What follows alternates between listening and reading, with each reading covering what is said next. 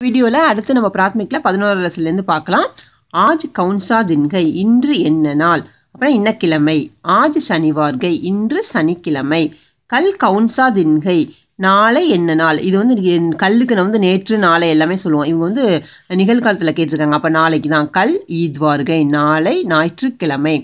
சாம்கோ தும் கியா கரோகி. ஈ சா மாலையில் நீ என்ன செய்வாய்? இது வந்து என்னதுக்கு செய்வாய் செய்ய போகிறது எதிர்காலத்துக்கு கரோகே அப்படிமோ. சாம்கோ மை மந்திர் ஜாவுங்கா. ஷாம்கோ மந் மை மந்திர் ஜாவுங்கா அப்படின்னா மாலையில் நான் கோயிலுக்கு போவேன். அடுத்து பாரத் லெசன் பன்னெண்டாவது லெசன். கல் அசோக் கஹான் ஜாயேகா. நான் அதாவது ஜாயேகா அப்படின்னு என்ன அர்த்தம். இதை வச்சே நீங்கள் வந்து க எப்போதுமே நம்ம வந்து கல்லுங்கிறதுக்கு நேற்று நா நாளை அப்படிங்கிறது இருக்குது ஜாயேகான என்ன அர்த்தம்? எதிர்காலத்தில் சொல்கிறாங்க ஸோ நாளை அசோக் எங்கே போகிறான்? நாளைக்கு அசோக் எங்கே போகிறான்? கல் அசோக் சென்னை ஜாயேகா. நாளை அசோக் சென்னை போகிறான். காடி கித்தனை பஜே சூர்த்திகை? க வண்டி எத்தனை மணிக்கு கிளம்பும்? காடி ஜாடே சே பஜே சூர்த்திகை. சா ஜாடேனா எதுனா நம்ம லெசனை பார்த்துருமோ அரைன்னு ஆறரை மணிக்கு கிளம்புது. அசோக் கப் சென்னை சே வாபஸ் ஆயேகா?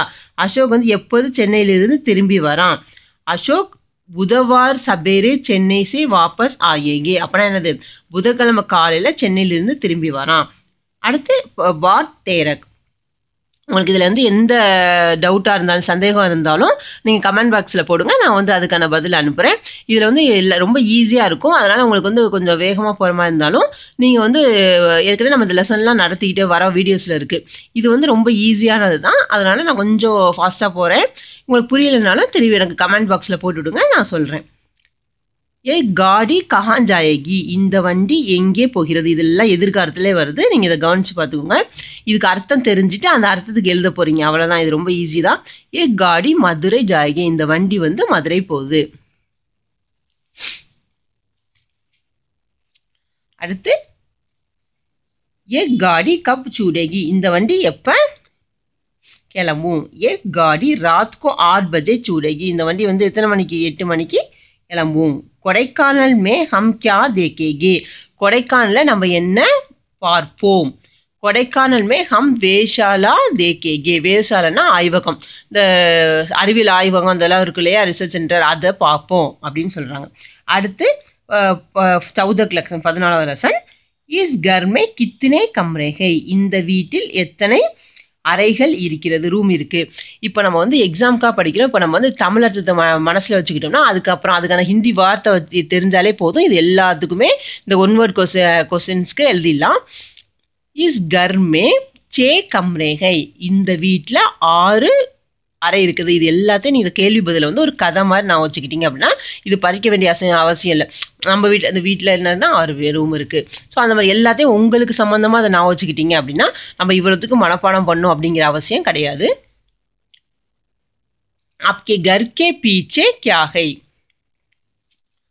வீட்டுக்கு பின்னாடி என்ன இருக்குது அப்படின்னு கேட்குறாங்க ஹமாரை கர்கே பீச்சை எக் சுந்தர் பகிச்சாகை. என்னுடைய வீட்டின் பின்னால் ஒரு அழகான தோட்டம் இருக்கிறது. மோகன் தும்கோ கவுன் ஹிந்தி சிக்காத்தேகை. மோகன் உனக்கு யார் ஹிந்தி சொல்லித்தராங்க முஜே மாஸ்டர் ராஜன் ஹிந்தி சிக்காத்தேகை. எனக்கு வந்து மாஸ்டர் ராஜன் ஹிந்தி சொல்லித்தராங்க அதாவது உனக்குன்னா எனக்குன்னு எழுத போகிறீங்க யாருங்கிற இடத்துல வந்து யார் மாஸ்டர் ராஜன் அப்படின்னு எழுத போகிறோம் அவ்வளோதான் அடுத்து பதினஞ்சாவது லெசன் பார்க்கலாம். பாட் பந்திரக் காய்கா தூது கைசா ஹோத்தாகை. மாட்டுடைய பால் பசுவின் பால் எப்படி இருக்கும் அப்படின்னு கேட்குறாங்க காய்கா தூது தூத் பத்தலா ஹோத்தாகை. எப்படி இருக்கும்? பால் வந்து தண்ணியாக இருக்கும் இல்லையா? ஸோ தண்ணியாக இருக்குது அப்படின்னு சொல்கிறாங்க பைன்ஸ்கா தூத் கைசா ஹோத்தாகை. எருமை மாட்டு அந்த பால் இருக்கு இல்லையா? அது எப்படி இருக்கும்னு கேட்குறோம் பைன்ஸ்கா தூத் காடா ஹோத்தகை அது வந்து எப்போதுமே எல்லோரும் சொல்லுவாங்க எறும்பு மாட்டு பால் நல்லா திக்காக இருக்கும்னு. ஸோ நீங்கள் நான் வச்சுக்க வேண்டியது பத்தலா காடா இது நம்ம ஆப்போசிட்டில் கூட படிப்போம். தண்ணியாக இருக்குது கிட்டியாக இருக்கிறது. பைல் கியா கீன்ஸ்டாக இதுக்கு நம்ம வந்து ஆப்போசிட் மாதிரி நான் வச்சுக்கிட்டோம். பதலா அப்படின்னா என்ன?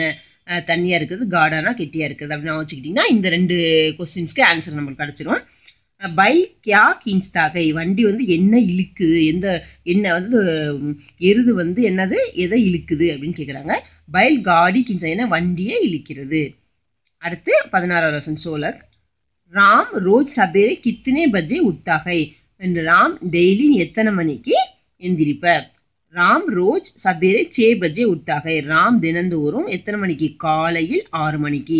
ஸோ காலைல ஆறு மணிக்கு ராம் வந்து எந்திரிப்பான் அப்படின்னு சொல்கிறாங்க ராம் கித்தனை பஜே கர் வாபஸ் ஆத்தாகை? ராம் எத்தனை மணிக்கு வீட்டுக்கு திரும்பி வருவான்? ராம் பாஞ்ச் பஜே கர் வாபஸ் ஆத்தாகை. ராம் வந்து அஞ்சு மணிக்கு வீட்டுக்கு திரும்பி வருகிறான். ராம் கைசால் அடுக்காய். ராம் எப்படி எப்படிப்பட்ட சிறுவன் அப்படின்னு கேட்குறாங்க ராம் அச்சால் அடுக்காகை. ராம் நல்ல பையன். இது ரொம்ப ஈஸியாக தான் இருக்கும் உங்களுக்கு. அடுத்த லெசன் போகலாம் பாட் சந்திரக் போகிறான் சத்திரக் கல் கவுன்சா தின்கை. நம்ம ஏற்கனவே கேட்டதா இன்று இன்னைக்கு நாளைக்கு என்ன நாள்? கல் ஈத்வார். இப்போ வந்து கல் கவுன்சா தின் தா. நான் ஹைன்ட்டேன் தா தா அப்படின்னு வச்சு நம்ம ஏற்கனவே சொன்னது தான் முன்னாடி ஹையில் ப்ரெசன்டென்ஸில் நாளைக்கு என்ன நாள்னா கேட்போம். நாளைக்கு என்ன நாளாக இருக்க போகிறது அப்படின்னு கேட்க மாட்டோம். ஸோ அதனால இதில் வந்து தா. ஸோ நான் வந்து ஹைன்னு சொல்லிட்டு தான் அப்படி சொல்லிட்டேன். தா. கவுன்சா தின் தா. அப்படின்னா நம்ம தா வச்சு இது என்னது? இது வந்து பாஸ்டன்ஸ் இறந்த காலம். அப்போ நம்ம வந்து நேற்றை பற்றி கேட்குறாங்க அப்போ நேற்று என்ன கிழமை அப்படின்னு கேட்குறாங்க கல் ஈத்வார்த்தா. நேற்று ஞாயிற்றுக்கிழமை ஆக இருந்திருக்கு. ஞாயிற்றுக்கிழமை. தோஸ்கே கர்மே கியாத்தா. அதாவது இது இப்போ வந்து இதெல்லாம் என்னவா கேட்குறாங்க அப்படின்னா எது இருந்த காலத்தில் கேட்குறாங்க நண்பனுடைய வீட்டில் என்ன நடந் நடக்குது? என்ன? ஃப்ரெண்டு வீட்டில் என்ன அப்படின்னு கேட்போம்ல அதுதான் தோசிக்கை கர்மே சாதித்தி. ஃப்ரெண்டு நண்பனுடைய வீட்டில் வந்து க திருமணம். திருமணம் நடக்குது அங்கே ஃபங்க்ஷன் நடக்குது. ஹிந்தி நாட்ட கைசாத்தா ஹிந்தி நாடகம் எப்படி இருந்தது? இது எல்லாமே வந்து இறந்த காலத்தில் கேட்குறாங்க நம்ம அதை கரெக்டாக பார்த்து எழுதிடணும். ஹிந்தி நாடக் பகுத் அச்சாத்தா? ஹிந்தி நாடகம் ரொம்ப நன்றாக இருந்தது. ஸோ இது இப்போ நம்ம இதுவரை நம்ம என்ன பண்ணோம்? ஹை ஹைன்னு பார்த்துட்டு அப்புறம் ஜாயகி எல்லாம் எதிர்காலமும் பார்த்தோம். இப்போ தா இதை வச்சு நீங்கள் வந்து நேற்று இன்றுங்கிறது கண்டுபிடிக்கணும் நான் முன்னாடி சொன்னேன் இல்லையா? அதுதான்.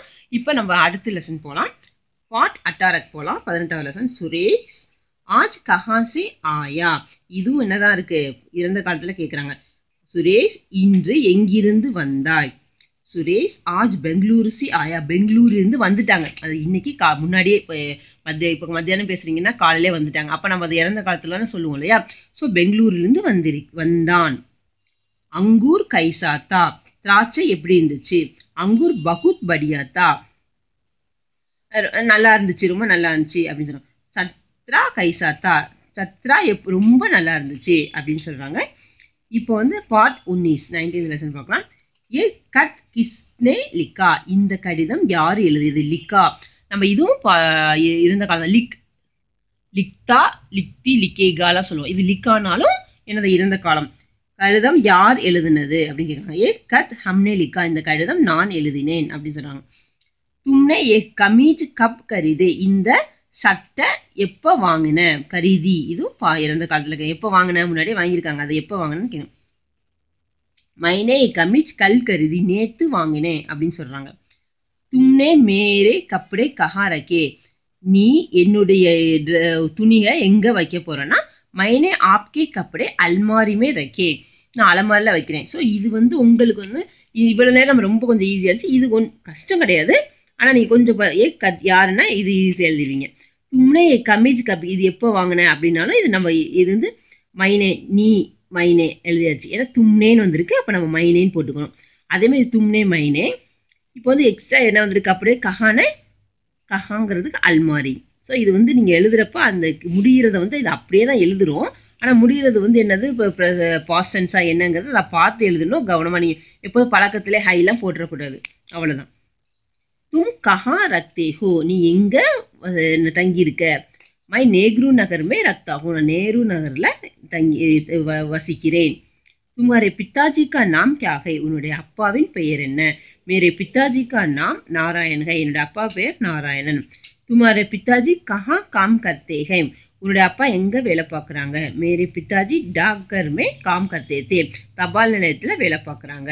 ஸோ இதுவரை நம்ம வந்து இருபது லெசனுக்கான ஒன் ஏக் வாக்கிய ஒரே வார்த்தை நீங்கள் சேர்க்குற மாதிரி சிலது ரெண்டு மூணு வார்த்தை சேர்த்துருக்க மாதிரி இருக்கும் கொஸ்டின்ஸ் ஆன்சர்ஸு ஸோ அந்த மாதிரி உள்ளதை பார்த்தோம். இது ரொம்ப ஈஸியாக இருக்கும். இதில் வந்து ப்ரெசன்டென்ஸில் எப்படி எழுதுறது? நிகழ்காலத்தில் இறந்த காலத்தில் அவங்களே கேள்வி கேட்டிருக்காங்க. அவங்க எப்படி முடிக்கிறாங்களோ அதே தான் நீங்கள் எழுத போகிறீங்க உங்களுக்குல. ஆனால் இது தெரிஞ்சுக்கோங்க. இது நம்ம என்னத்துக்கு எழுதுகிறோம் அப்படிங்கிறத தெரிஞ்சுக்காம நம்ம அதை கேட்டதை அப்படியே காப்பி பண்ணி இடையில ஒரு வேர்டு மட்டும் மாற்றுறோம் அப்படிங்கிறது இருக்கக்கூடாது.